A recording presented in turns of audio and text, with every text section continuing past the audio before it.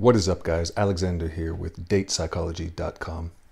Gonna make a quick video for you today, not a study. I'm gonna go over a really basic concept. I hope this can be helpful to students, psychology students, but any students really in the sciences. So we're gonna go over p-values really simply, what these are, and then three main misconceptions. Misconceptions I think if if we correct these, if we grasp these three main misconceptions, you will probably do better than you know 95% of the people out there trying to interpret p-values and what they mean. So first, explaining kind of what these are here. And no math in this video. Simple, simple concepts. With p-values, what we're trying to do with these statistical tests is compare two groups, sometimes more groups, but let's say two groups. And we want to know when we take one group and another group, right? We want to know is there a difference between these two groups? And if there is a difference, do we know that that is a real difference? What do I mean when I say a real difference? Do we know that the difference is not due to chance, that it's not due to random noise or to perhaps something else going on within those groups? How do we do that? How can we decide basically that we're not fooling ourselves when we see a difference between two groups? And the answer to that, that has been arrived at within frequentist statistics, is going to be statistical significance, right?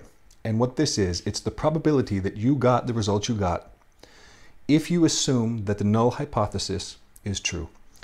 The null hypothesis being that no effect exists, right? There is no difference between the two groups. That is the fundamental assumption that the math behind these statistical tests is based on, right? The idea that no difference exists. We're comparing the two groups and we're seeing if we detect a difference if no difference exists, right? Because if we detect a difference, when there really is no difference between two groups, that would be strange, right? It would be surprising. It would be weird. And that's what we're asking ourselves. That's what the p-value is basically telling us. You know, is this a result that's that should surprise you, basically? Is this a weird result? Is it something we should not expect given that the two groups are actually the same. In other words, statistical significance kind of tells you how unlikely the result of getting that small p-value would be, assuming that the two groups are in fact the same. So, another way to think about this, right? Your alpha, that's your cutoff point. Most commonly in psychology, that's going to be 0.05 or 5%, but it could be 1%, 0 0.01, or in other sciences, it could be much, much smaller even. So your alpha tells you basically the likelihood that you're fooling yourself. And this way that I'm explaining it, fooling yourself, that's not my own framing. That's uh, an idea that I got from a statistician. His name is Daniel Lakens. He teaches a course on Coursera. I would recommend checking that out, especially for master's level students and stuff, because it can be more intermediate, but it's a very, very good explanation. And it's an intuitive way to understand it, which is why I wanted to share it with you. Similarly, the statistician Benjamini, he described it the same way, basically that p-values offer a first-line defense against being fooled by randomness. They separate signal from noise, right? Because the difference between two groups that are actually the same, or the detected difference, since we're assuming there is no real difference, could be all noise, right? How do we know, therefore, that an effect is real? How do we know? How do we know? How do we know? P-values, right? That is supposed to be what helps us, not foolproof by any means, but what helps us determine if that effect is real. So moving on. Three misconceptions about p-values and understanding these misconceptions, you know, I, we could go into a lot of detail explaining like what p-values are with math and graphs and charts and charts of distributions, that sort of thing. Uh, but understanding these three big things about what p-values are not will actually help you understand what they are and understand the interpretation of them, uh, perhaps more than, than anything else. So this is something I wanted to cover. I make reference to these often when I talk in the other videos. And of course, you know, this is a YouTube science channel where I cover studies all the time, mostly. Mostly that's what I'm talking about, right? I'm taking a study and covering it. And p-values are used in, I think, all of the studies I've covered up to this point. Most of science is using them. So understanding them, very, very important. Three misconceptions, right? As I said, almost all misunderstanding of p-value falls into one of these three. There's a big paper, very heavily cited paper called The Dirty Dozen 12 P value misconceptions.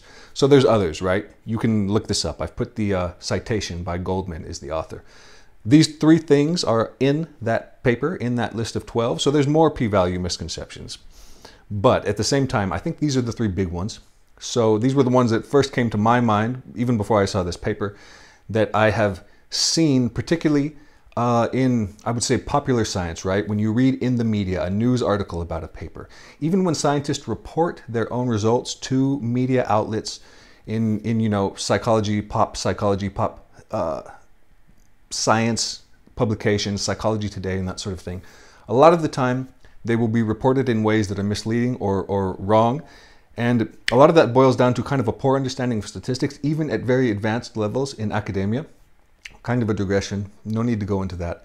But understanding these three misconceptions about p-values will help you understand p-values so much, so much better, I promise you. Let's look at the first one right here. P-values do not tell you if a hypothesis is true. Surprising, because we talk about these tests, we call them what? Hypothesis tests, right? The idea is that we're testing a hypothesis. And it's extremely common that you will see something reported to the extent of statistically significant result supports the hypothesis, right? Now you can say that this supports a hypothesis across research over the long term as a part of the greater scientific process. But what p-values actually are are statements about the probability of your data within that specific data set, right? They don't tell you that the hypothesis itself is true. A couple of misconceptions in the way that this is put that you will commonly see this presented you see a p-value of less than 0.05, statistically significant, right? People will say, ah, that means there's a 95% chance that the hypothesis is true. No, no, it doesn't mean that. The opposite of this as well, p-value of less than 0.05%, right? People will say, ah, there's a 95% chance that the hypothesis is false, or could be even worse. They could say there's a 95% chance that the null hypothesis is true, both incorrect. That is not what p-values tell us. What p-values tell us is how likely that result is given the assumption that the null was true, right? Given the assumption of noise to some extent. So p-values test data, not hypotheses. And this, this is not a unimportant distinction, okay? If you want to see how well a hypothesis is supported, you have to look at much more than a p-value, okay? You have to look at effect sizes. We'll go into that momentarily. You have to look at how well the finding is replicated across the sciences. You have to look at support for the hypothesis across the entire scientific process. A good result, a statistically significant result, good so to speak, in a given study doesn't tell you that the hypothesis is supported. It might, in the long run, across many similar studies over time, add to support for that. Let's move on to the next slide here. So, significant but meaningless. When you hear the word significant, the way that we use it outside of statistics in common speech, right? You look it up in a dictionary, it is a synonym with meaningful, right? Something important, something large, perhaps. This is not what significance means in statistics. It means something entirely different. So, statistical significance, it is not a measure of effect size, right? effect size is what it sounds like. The size or the magnitude of an effect, right? How big a difference is between your groups that you are comparing. So a p-value does not tell you that the difference is large. And this is a big mistake that people make. They will see a p-value that says 0.05. They'll say, oh, you know, 95% chance, kind of like we went on in the last slide incorrect, but they'll see an even smaller p-value, right? You get a p-value and it's like less than 0.00001. And They think, wow, that's a tiny, tiny p-value. That must mean that this effect is really big. No, has no relationship. You can have a, a huge effect, small p-value. You can have p-values that are the same with very different magnitudes of effect. You cannot know anything about the effect size from the p-value. So does a smaller p-value tell you that the effect is stronger or larger? 0.05, como, like I had said there? No. Perhaps the most uncommon. You got to look at measures of effect size, and what those are, correlations are probably going to be the most common one, right? Pearson's correlation, presented as a little letter R, that will give you a magnitude of the relationship. And of course, that's uh, a representation of, of the distribution in a graph. You can look and you can visually see the relationship. Cohen's d is a measure of effect size. Even looking at just the actual difference between two means is a measure of effect size.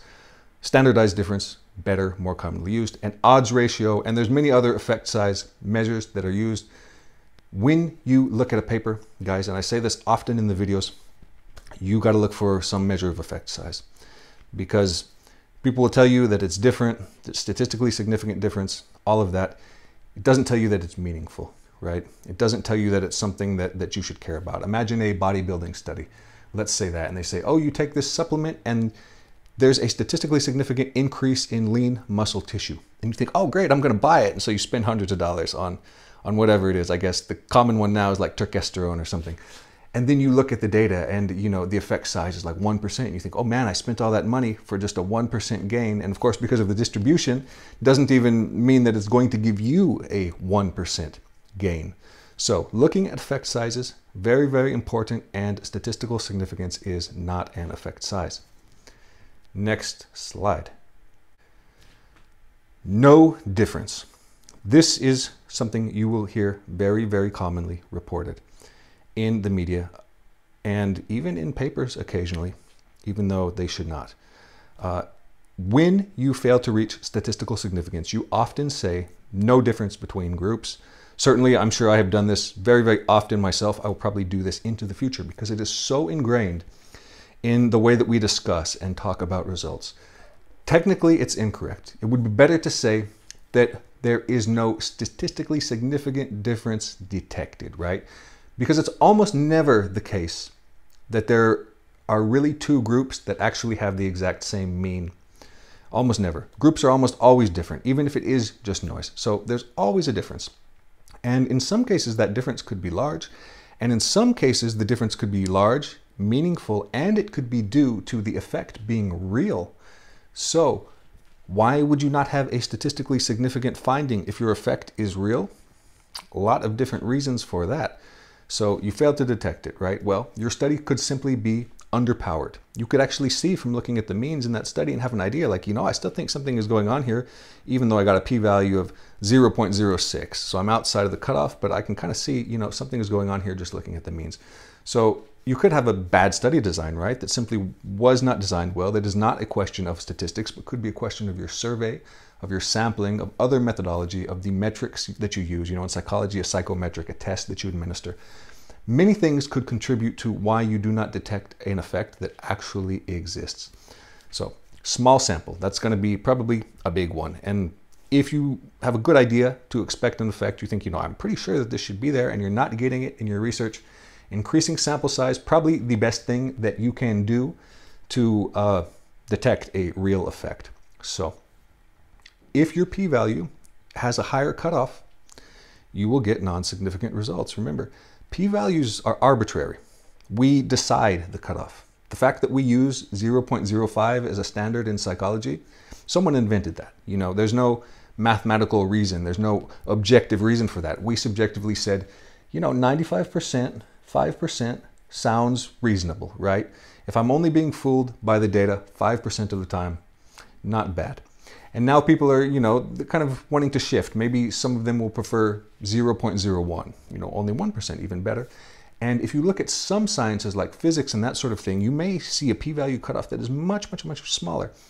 That will depend a lot in the science and what you are looking at. So the important takeaway here from this is that when you don't detect an effect, right? When you say there is no statistically significant difference between two groups. You're saying, I cannot reject the null hypothesis. You're not saying, I accept the null hypothesis. You never say, I accept the null hypothesis. You say, I have failed to reject the null hypothesis. Why is that? Because it's an absence of evidence, right? It's, it's nothing is there. So you can't say this supports the null hypothesis, kind of what we went into in the previous slide, which is what a lot of people will say. They'll say there's no difference between groups, therefore no difference exists. No, no, that is not what it shows. Failing to reject the null hypothesis does not provide evidence for the null hypothesis. And guys, short video today because three very simple concepts. Learning these concepts well, And learning to understand p-values well will help. It's a big, big step, a beginning step, but a big step to understanding statistics better and to understanding the research that you read and in the long term to designing your own research, to designing your own experiments and all that sort of a thing. So video is over guys. I hope you liked it. Please like, subscribe to the channel, leave a comment. If there's other p-value misconceptions, post a comment. I'd like to hear those as well. Like I said, paper in these slides, there's more, but I wanted to go over the three big ones. And I'll make another video guys for you very soon.